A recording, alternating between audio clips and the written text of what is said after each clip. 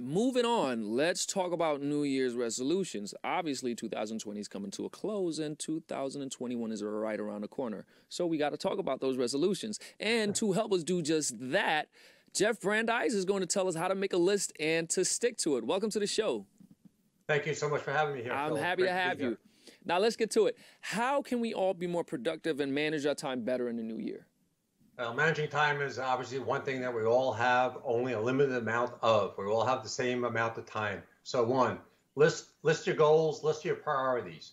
I always like to have people create what their long-term goals are and even what their short-term goals are. Short-term being six months or less, Mm-hmm. and long-term being greater than six months and even up to two or three years. Hmm Now, whenever we just turn the corner of all on all the Christmas eating and getting with the family, and we say, you know what, we start the year fresh. This this year is Yep. my year. I'm gonna do A, B, C, X, Y, C, and then they stop. Why is that? Why why why does that happen? Why do people do that?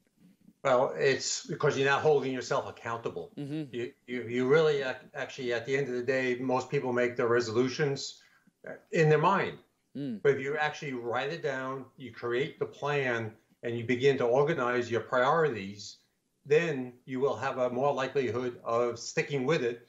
And if you get in the habit of looking at your priorities every morning, you set your ABC list, you focus on your A's, and you knock those out.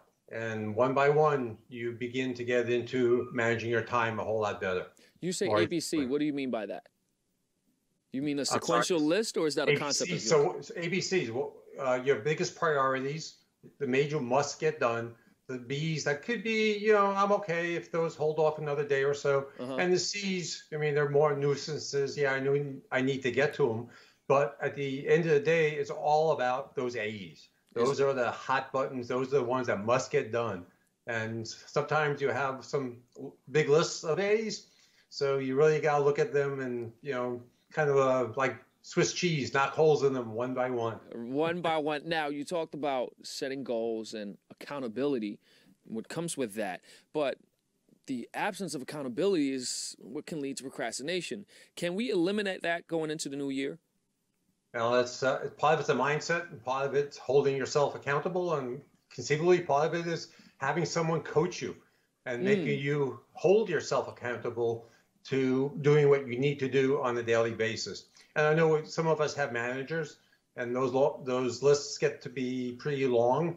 So w- talk to your manager, find out what the priorities are for them, which then become the priority for you as well. So have those conversations. It's good for both parties. Good for both parties. Now, what are you looking forward to in the new year? I'm looking forward to growth, Uh-huh. scaling, happiness, getting over our uh, way of living right now, to be Uh-huh. candid with you. So we all can get back into somewhat more of a normal life. Hopefully, uh, the vaccine obviously begins to take effect and we get back to more face to face, more eating out, and businesses begin to get back to normal. Now, what is one final thing you'd like to leave our viewers with, whether it's a piece of, whether it's a tidbit of advice, whether it's a tool, a tactic, something that they can employ in their lives that can increase their productivity or reduce their procrastination, whatever it is, what do you have for us? make that list every morning or the night before you go to sleep so that when you wake up in the morning you know what you need to focus in on or before you start your day and while you're having your coffee make that list so you can make those a's put the c's in the drawer put them below and make one piece of paper don't don't have 20 sheets or sticky notes all over your, your, your desk so you're focused you know what you need to accomplish and you will keep to your new year's resolution which is making the most of your time and getting and setting your priorities the right way. Love that. Thank you so much for being here today, Jeff.